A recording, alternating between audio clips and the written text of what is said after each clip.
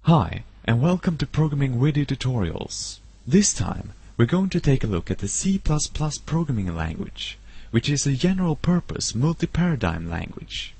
C++ is an extension of the C language, and as such most C code can easily be made to compile in C++.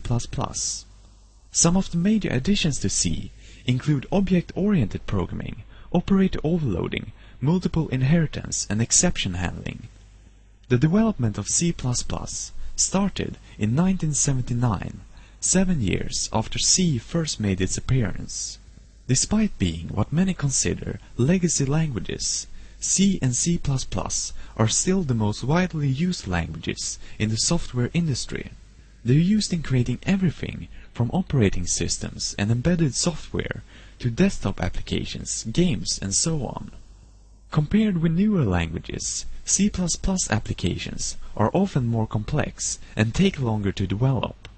In return, C++ gives the programmer a tremendous amount of control in that the language provides both high-level and low-level abstractions from the hardware. It's also designed to give the programmer a lot of freedom by supporting many different programming styles. For example, using procedural, object-oriented, or generic programming.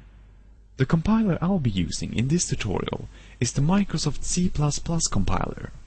Some other common ones include Borland's, Intel's, and GNU's compilers.